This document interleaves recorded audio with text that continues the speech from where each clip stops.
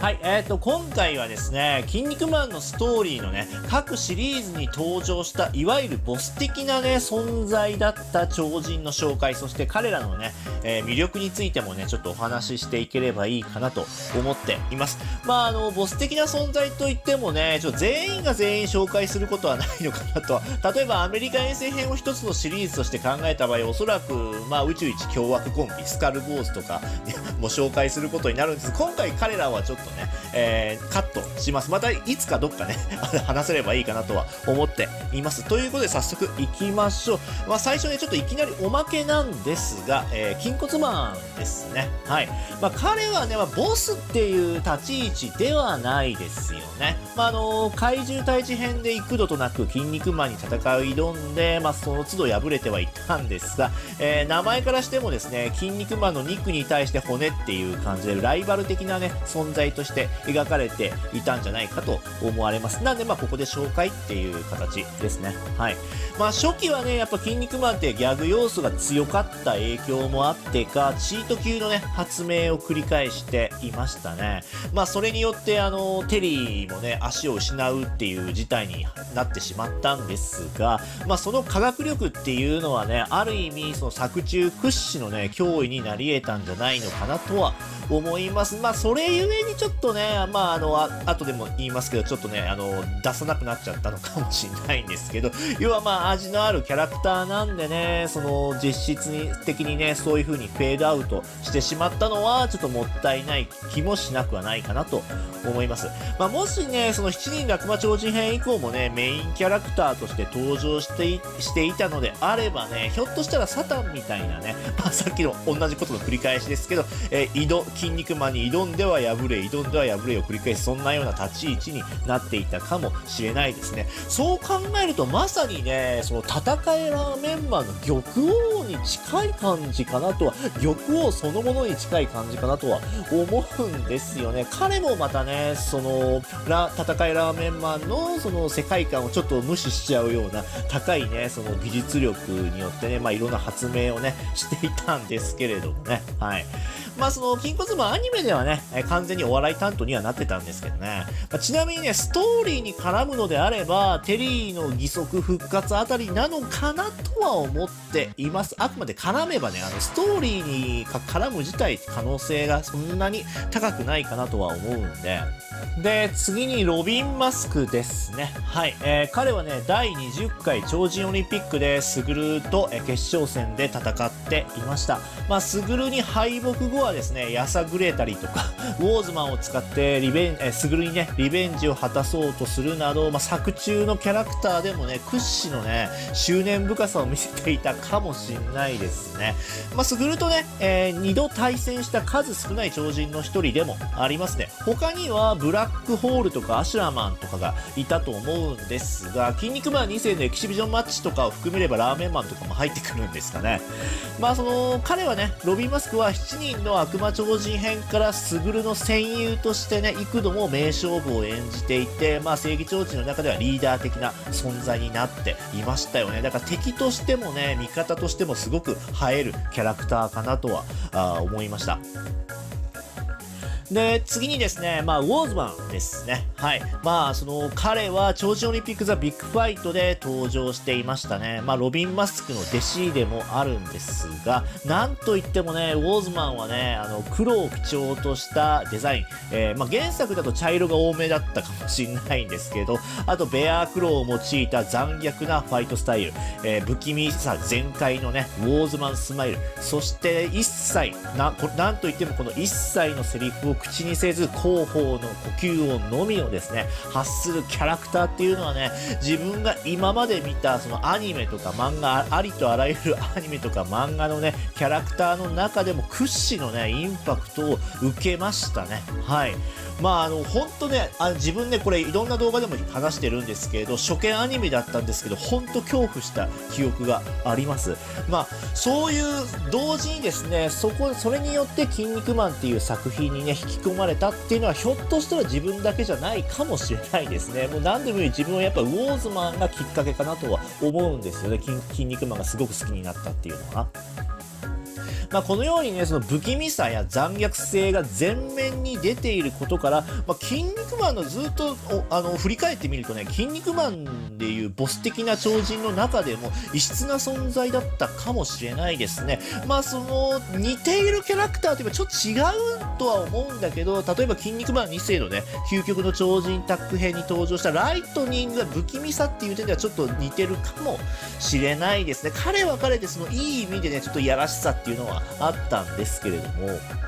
で、次にですね、えバッファローマンですね。はい。まあ彼はですね、7人の悪魔超人編のボスキャラとして登場していました。まあ悪魔超人自体がですね、筋肉マンがバトルメインになったね、まあ超人オリンピック編以降、はっきりとね、まあ敵ってね、わかる初めてのキャラクターだったかもしれないですね。本当に悪者みたいな感じですよね。で、そのリーダーであったバッファローマンっていうのは、まあいわゆるまあ超人オリンピックの決勝戦の相手とかそんなんではなくて、本当にもうボスっていうね、最初のボスみたいな感じにね、解釈できるかもしれません。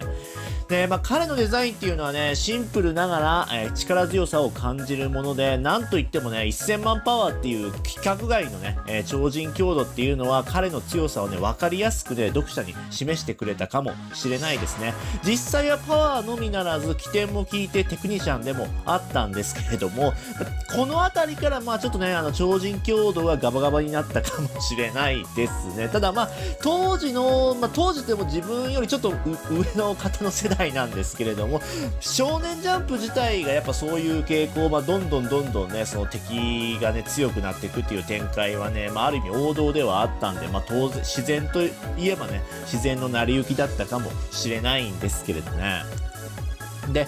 まあ、正義超人に入った後はですね、おとなしくなってしまった印象はあるんですが、人気投票ではね、第1位に輝いたこともあるなど、まあ、上位の常連ですよね。はい。で、7人の悪魔超人編でストーリーが盛り上がったことを考えればですね、まあ、これは間違いないかなと思うんですが、まあ、彼のね、筋肉マンでの功績っていうのはかなり大きいんじゃないでしょうかね。で、まあ、今ね、まあ、オリジン編以降、再び悪魔超人に返り咲いて、またちょっとね、えー、輝きを取り戻しつつある感感じではありますよね。今ちょっと血明軍寄りにはなってるんですけれども。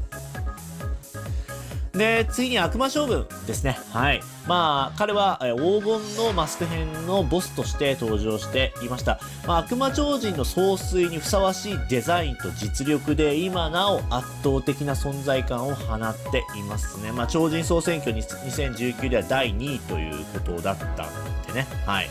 あとや、なんといってもね、地獄の弾頭台っていう技名ですよね。これ自分結構好きなんだけどね。やっぱこの、えー、まあ、地獄の弾頭台とかね、地獄の、えー、急所封じとかね、やっぱそういいったものっていうのは、ボスが使うのにはふさわしいな、ま、技名だったんじゃないのかなと思います。ゆで卵先生はなんかその威厳みたいなものを出したい時っていうのは、こういった和風というか、その日本語名のね、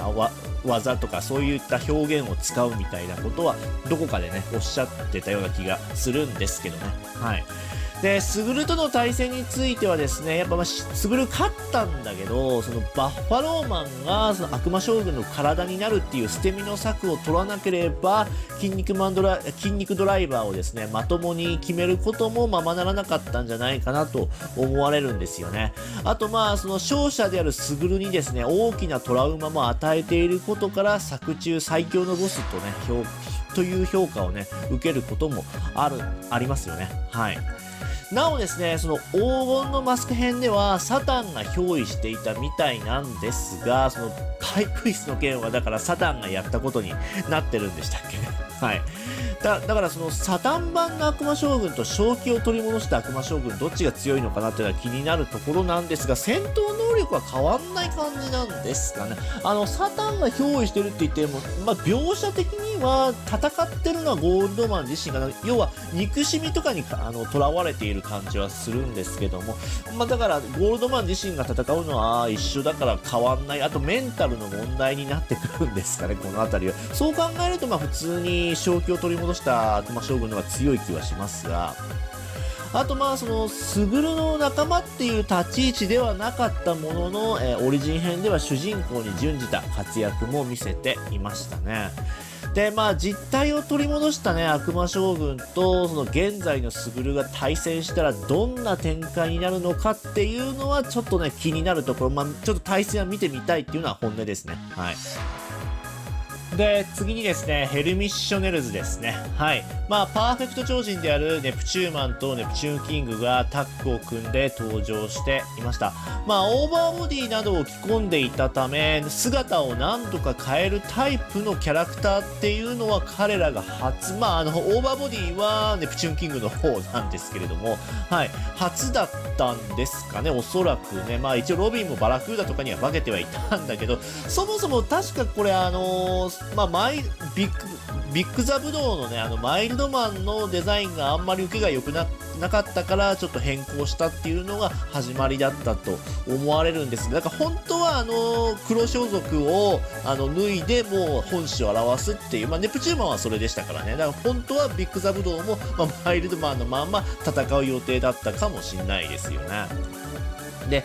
まあ、そのヘルミッショネルズに関しては、そのマグネットパワーが使えなくなった途端にザ・マシンガンズに倒されてしまったことからですね、悪魔将軍と比べると強いっていう、まあ強いには間違いない、あの、パーフェクト超人っていう看板もあったんでね、あの、弱くはないんですけど、悪魔将軍と比べると強いっていう印象はなかったかな。例えばそのトーナメントの途中でもベアクロを身につけたロビンとかねあと2000万パワーズにも一度は追い詰められそうになっていたっていう展開はあったんでね。ただまあその人気のね正義超人たちのマスクを次々と剥がしてあとクロスボンバーっていうね筋肉マンでも代表的な2プラトンを披露したことで悪魔将軍とは異なった形でね読者にインパクトを与えたことには成功したんじゃないかなと思いますね。はい。